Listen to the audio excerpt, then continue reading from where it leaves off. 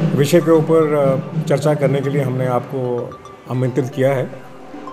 जैसे आपको मालूम है, हर साल 25 दिसंबर को हमारे पूर्व प्रधानमंत्री और भारत रत्न अटल बिहारी वाजपेयी जी का जन्म दिवस होता है।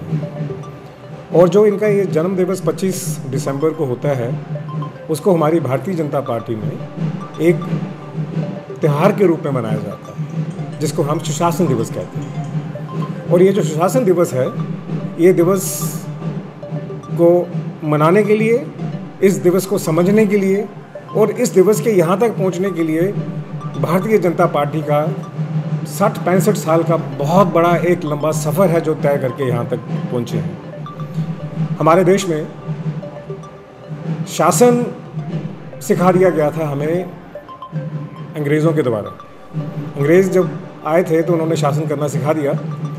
लेकिन वाजपेयी जी अपने बचपन से ही, जिस दिन से उनका जन्म हुआ, उसके बाद जो उनका पूरा एक सफ़र रहा है, प्रजा परिषद से लेकर भारतीय जनता पार्टी बनने तक, और उसके बाद जो उनका सफ़र रहा है, उसमें उनकी बहुत ही एक एक जदोजहद रही है, बहुत ही ज़्यादा उनकी एक स्ट्रगल रही है, जिसमें उन्होंने एक शासन को सुशासन में कैसे बदला जाए, उसके ऊपर बहुत सोच विचार किया और वो चीज़ें जो हैं, उनके रोज़ के काम करने के ढंग में दिखती थी। रोज़ उनके समझने में, बात करने में वो समझ आती थी, दिखती थी।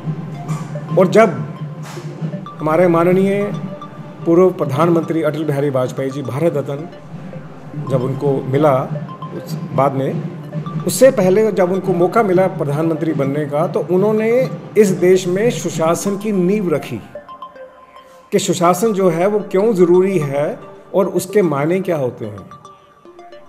उनका मानना ये था कि जो सुशासन होता है, वो शासन के बाद जब उसमें अनुशासन जुड़ जाता है तो वो सुशासन होता है।